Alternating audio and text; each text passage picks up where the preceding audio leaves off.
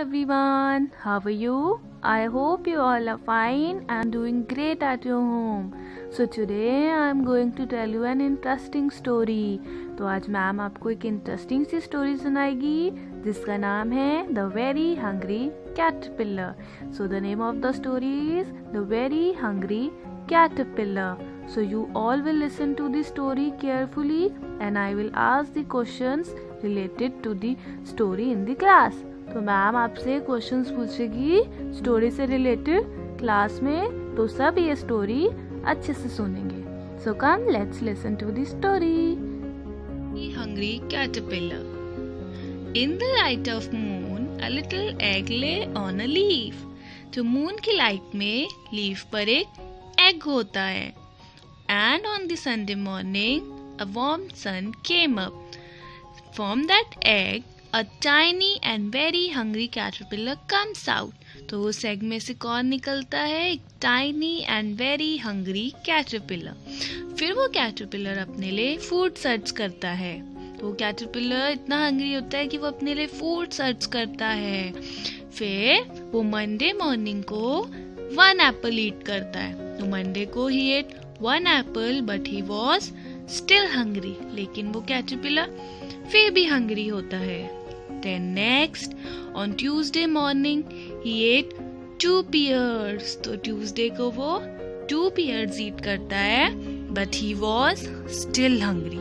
लेकिन वो फिर भी hungry रहता है Then next, on Wednesday morning, he ate three plums. तो Wednesday को वो three plums eat करता है but he was still hungry. लेकिन वो फिर भी हंग्री रहता है। Then next on Thursday morning he ate four strawberries then Thursday को वो फोर स्ट्रॉबेरीज ईट करता है, लेकिन वो फिर भी हंग्री रहता है। ही वॉज़ स्टिल हंग्री उसको कितनी भूख लगती वो अभी भी हंग्री है। Then next on Friday he ate five oranges उसने कितने ऑरेंजेस खाए? Five oranges but he was still hungry लेकिन वो अभी भी भूखा है on Saturday he ate ice cream pizza sausage cheese lollipop cake the night he had stomach ache लेकिन फिर उसको रात में स्टमक एक होता है। फिर नेक्स्ट डे संडे को फिर से मून आता है।